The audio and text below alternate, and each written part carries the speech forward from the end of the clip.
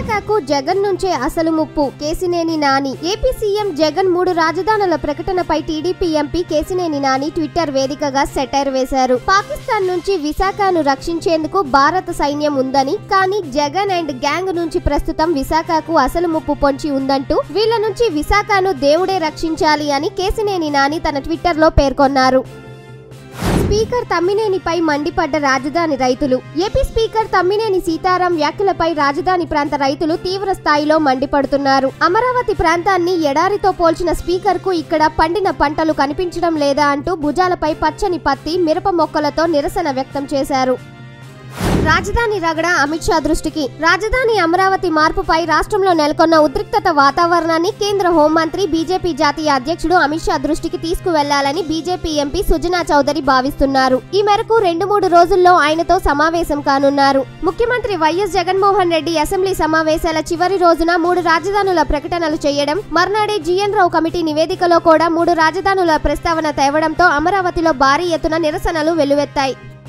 Jharkhand assembly ఎన్నికల counting ప్రారంభం. Jharkhand assembly ఎన్నికల కౌంటింగ్ ప్రారంభమైంది. మొత్తం ఎనభై ఒకటి శాసనసభ స్థానాలకు నవంబర్ ముప్పై నుంచి డిసెంబర్ ఇరవై వరకు ఐదు దశల్లో పోలింగ్ జరిగిన విషయం తెలిసిందే. రాష్ట్రంలోని ఇరవై నాలుగు జిల్లా కేంద్రాలలో ఎన్నికల సంఘం కౌంటింగ్కు ఏర్పాట్లు చేసింది. కౌంటింగ్ ప్రారంభమైన అనంతరం కాంగ్రెస్ ఆధిక్యంలోకి వచ్చింది. తాజాగా అందుకున్న సమాచారం ప్రకారం బీజేపీ ముప్పై రెండు స్థానాలలో ఆధిక్యంలో ఉండగా కాంగ్రెస్ జేఎంఎం కూటమి ముప్పై తొమ్మిది స్థానాలలో ముందడుగులో ఉంది. శ్రీ క్యాపిటల్స్ పై చిరు అఫీషియల్ వివరణ. కొనిదల చిరంజీవి గారు నేటి ఆంధ్రప్రదేశ్ రాష్ట్ర ప్రభుత్వానికి జీఎన్ రావు కమిటీ చేసిన మూడు రాజధానులు అనే సిఫారసును స్వాగతిస్తున్నట్లుగా బయటకు విడుదల చేయబడినది అని చెబుతున్న లేఖ పూర్తిగా ఫేక్గా సృష్టించబడిన లెటరు. చిరంజీవి గారు అధికారికంగా అటువంటి లేఖ విడుదల చేయదలుచుకున్న పక్షంలో తాను సొంతగా సైన్ కానీ లేక తన వ్యక్తిగత కార్యదర్శి చేత గాని అన్ని పత్రికలకు మీడియాలకు విడుదల చేస్తారు తప్పితే కేవలం సోషల్ మీడియా ద్వారా ప్రచారం కోసమో లేదా కేవలం సాక్షి మీడియాలో మాత్రమే వచ్చేలా మాత్రం ఉండదు అని అన్నారు.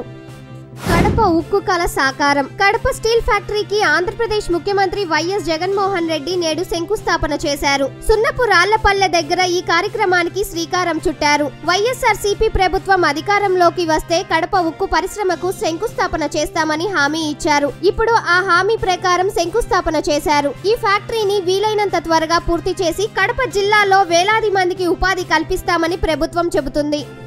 ఎవరికీ అన్యాయం జరగదు. కేంద్ర ప్రభుత్వం ఇటీవల చేపట్టిన పౌరసత్వ సవరణ చట్టం ప్రతిపాదిత ఎన్ఆర్సీలు భారతీయ ముస్లింలకు ఎంతమాత్రం వ్యతిరేకం కాదని ప్రధానమంత్రి నరేంద్ర మోదీ ఉద్ఘటించారు. ఈ రెండిటి వల్ల దేశ ప్రజలకు అన్యాయం జరుగుతుందన్నది ఎంతమాత్రం నిజం కాదని రామ్లీలా మైదానంలో జరిగిన భారీ ల్యారీలో స్పష్టం చేశారు. విజయంతో ముగించారు. అంతా అనుకున్నట్లుగానే అందరూ ఊహించినట్లుగానే వెస్టిండీస్తో జరిగిన చివరి వన్డేలో భారత్ నాలుగు వికెట్లు తేడాతో విజయం సాధించింది. చివరి వరకు జరిగిన ఉత్కంఠ పోరులో టీమిండియా బ్యాట్స్మెన్లు అద్భుతంగా రాణించారు. దీంతో మూడు వన్డేల సిరీస్ను రెండు ఒకటి తేడాతో కోహ్లీ సేన కైవసం చేసుకుంది. సిరీస్తో పాటు బోనస్గా వరుసగా పది ద్వైపాక్షిక సిరీస్లు గెలిచిన జట్టుగా కోహ్లీ సేన సరికొత్త రికార్డును సొంతం చేసుకుంది. విలన్గా మెప్పిస్తాడా?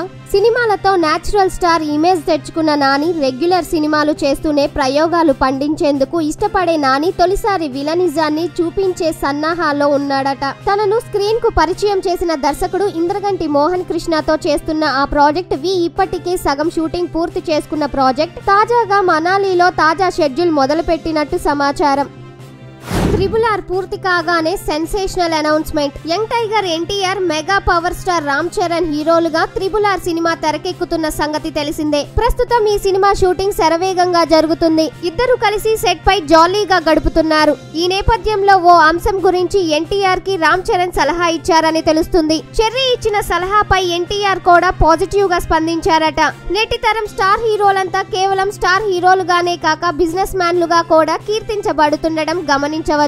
ఇప్పటికే ఈ లిస్ట్లో రామ్ చరణ్ మహేష్ బాబు నాగార్జున లాంటి స్టార్ హీరోలు ఉండగా ఇటీవల విజయ్ దేవరకొండ కూడా యాడ్ అయ్యాడు తోటి హీరోలంతా వ్యాపార కార్యకలాపాలలో జోరు మీద ఉంటే యంగ్ టైగర్ ఎన్టీఆర్ మాత్రం కేవలం సినిమాలే లోకంగా భారీ హిట్స్ తన ఖాతాలో వేసుకుంటున్నారు. దీంతో ఇదే విషయమై ఎన్టీఆర్కి రామ్ చరణ్ సలహా ఇచ్చారట. తెలుగు ఇండస్ట్రీలో తిరుగులేని హీరోగా మంచి ఫాలోయింగ్ ఉన్న ఎన్టీఆర్ నిర్మాణ రంగంలోకి వస్తే సూపర్ సక్సెస్ అవుతారని భావించిన రామ్ చరణ్ ఆ విషయాన్ని ఎన్టీఆర్ తో చెప్పేశారట ఈ మేరకు రామ్ చరణ్ సలహాపై ఎన్టీఆర్ కూడా పాజిటివ్గా స్పందించారని టాక్ వినిపిస్తుంది Please watch Tulsi News. Please subscribe to Tulsi News.